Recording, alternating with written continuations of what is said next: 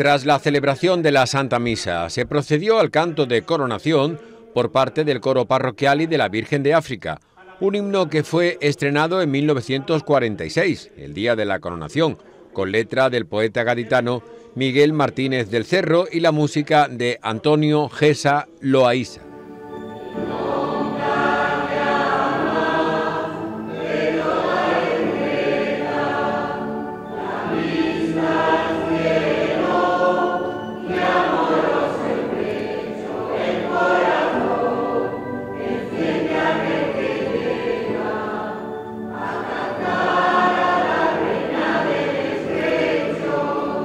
Hermano mayor de la cofradía, José Antonio Fuentes Viña, anunció que este himno se va a recuperar para cantarlo cada año en esta celebración.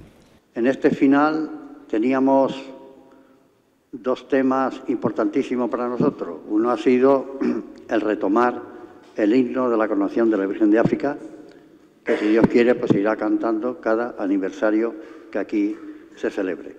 Igualmente, Fuentes Viñas invitó al presidente de la ciudad, comandante general y consejera de Cultura y Educación, a descubrir el cuadro de la Virgen que fue bendecido por el vicario parroquial y que en el futuro estará en el Museo Permanente de Santa María de África, sito en las murallas reales. Yo quiero agradecer que nos acompañe en descubrir el cuadro, señor presidente,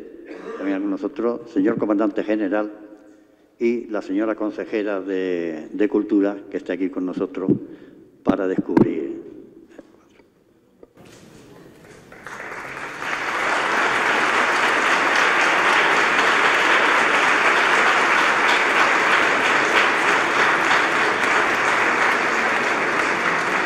El autor del óleo es Clemente Jesús Rivas Jiménez, natural de Puente Genil.